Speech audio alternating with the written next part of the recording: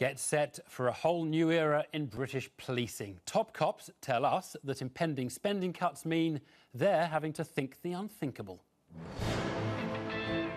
We need to reimagine in policing um, the way in which uh, we're being asked to operate, the demands, the crime have changed substantially.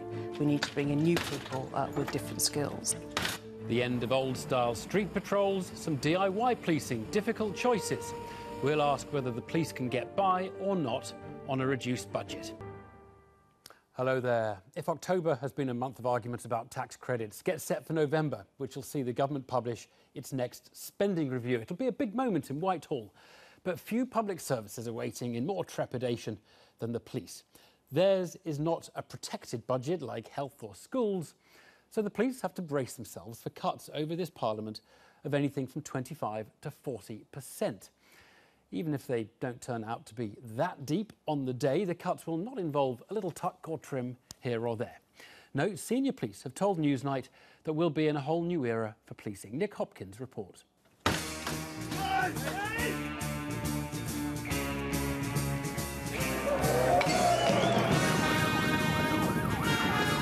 When it comes to policing, we're a romantic lot.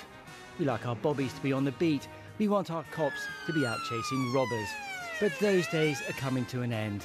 Crime has changed, and so are those fighting it.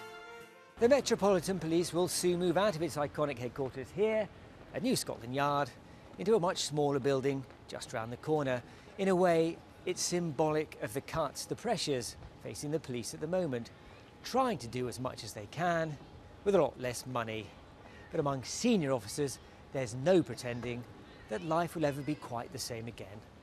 So will the threshold for investigating certain crimes rise? Oh, yes, yeah. Yes. And people won't like that.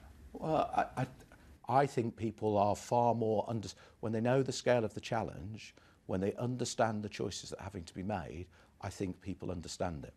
I think it's going to be very, very tough. And I think other things need to change. One of the initiatives we're looking at is whether every police force should do the full range of policing capabilities? Are there more efficient ways to be organised? Another thing that uh, comes up from time to time is whether in fact we need 43 forces in England and Wales, whether in fact it would be cheaper to have fewer forces. Police demonstrating about cuts. Now they are braced for much worse. In next month's comprehensive spending review, budgets will be slashed by 25 to 40 percent. The winds of change are already blowing through forces across the United Kingdom. Many police stations have been shut. Others will be soon. Figures obtained by Newsnight under Freedom of Information give a snapshot of how life on the front line of policing is changing. Over the last five years, the Met has closed 77 police stations. In Merseyside, they've closed 28, another seven will go. The Police Service of Northern Ireland has shut 29 police stations from a total of 83, and in Scotland, they've closed 31 police stations. In terms of Bobbies on the Beat, um, it's a difficult one because um, it's one of those features of policing which the public have come to like and respect over many, many years. But in fact, the evidence would say that random police patrol doesn't prevent crime, it doesn't solve crime, it doesn't, in fact, make people feel safer. Are the days of the routine patrol over? I think in the future we will always respond to the pub fight, to domestic abuse, to people in difficulty. Um, and we will always focus our patrol on crime and disorder hotspots. What we won't be doing, I think, is focusing patrol on areas where there is little crime and little disorder. Just after 11 o'clock on a Saturday morning at Piccadilly Circus. Well, if you want 10 minutes with a London policeman, you've caught me just right. By law, police officers have always been protected from the perils of compulsory redundancy. But now police chiefs believe they could be necessary. You don't know port numbers. In a classroom today, seasoned detectives learning new tricks. There's another operating system inside Windows which might be doing bad things. They're being taught how to look for the telltale signs of crime online. Cyberspace is a smoke and mirrors world, and according to one officer on this course, the police are playing catch up.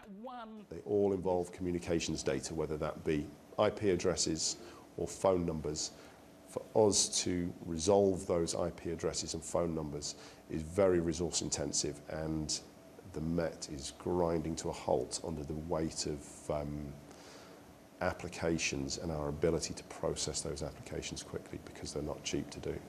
Money's short and the police need help. I think we'll have to look at completely different models. There's been a lot of talk as we as we start to step into this world. Why could we not work with industry to fund some of the work we do, and they can help in paying for that? Does that mean direct funding for some of your programs? Potentially. And I think, actually, I think that's one of the things we're going to have to think about as we go forward. Now, there are all sorts of ethical challenges and hurdles along the way. But one of the things a challenge of this size and scale does is force you to think differently. But the future does offer one nod to the past. Are you a Miss Marple? The police need you. DIY detectives are back. Would you encourage people to be more proactive in investing in investigating certain types of crime for themselves and then helping you by delivering what evidence they have? Yes. Absolutely. You know, so take an, take an example of, of, of your home.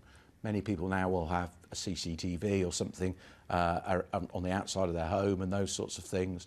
You know, their alarm might go in the middle of the night. Um, they would look at their CCTV and if there's something on there, give it to us. There's been a lot of commentary when we've talked over the last six or 12 months about people looking on auction sites themselves, you know, prize bikes stolen from shed and go on auction sites. I'm probably the only person who'd recognise my bike. If I asked someone to describe it, I'd say, well, it's red and it's made by X. You know, absolutely getting people involved and the whole notion of uh, people being active in that crime prevention work, in that crime detection work with us, has got to be part of the future.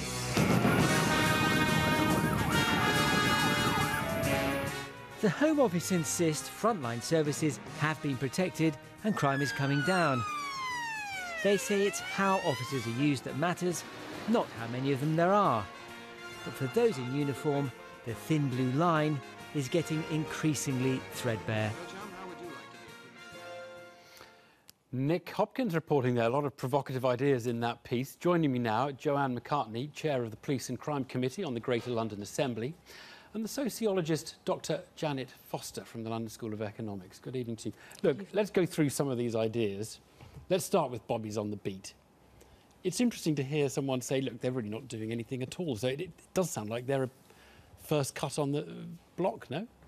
No, I think Bobby's on the beat play an important role in reassuring the public and also increasing public confidence that there is an officer there that can help. And, you know, the cuts that policing is facing now is taking us back to 1970s level funding.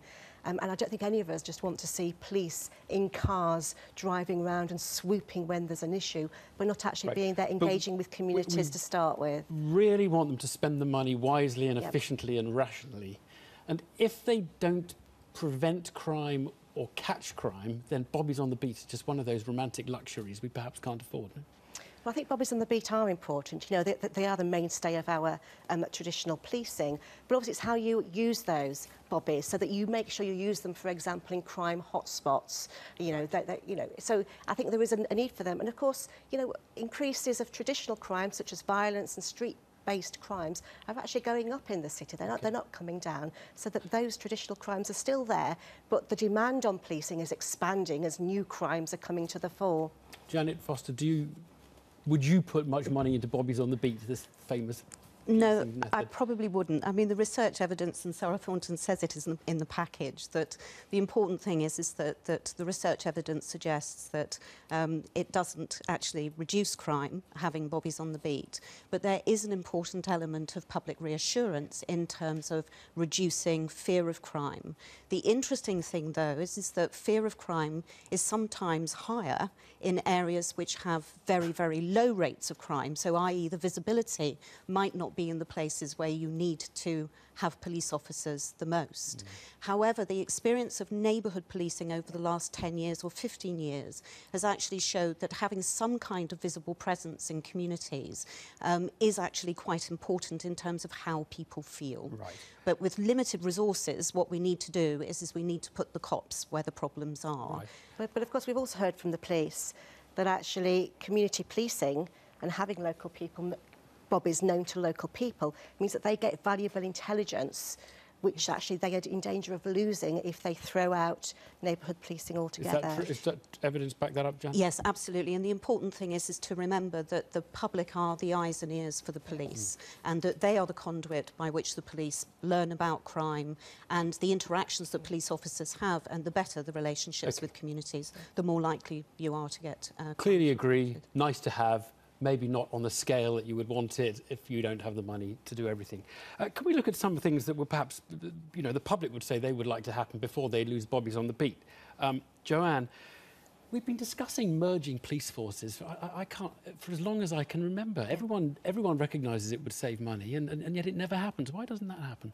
I think it's not popular with the police forces themselves. Is it literally that? Maybe, and of maybe course, they should just now we it. have a system of elected police commissioners. I can't imagine them wanting to abolish their own positions, which is what would actually be needed. I mean, in London, um, we operate on a borough command unit. You know, each London authority um, borough um, has its own command unit. But that's one of the proposals about scrapping that and perhaps having one commander in charge of two or three of those boroughs. So those proposals are being looked at.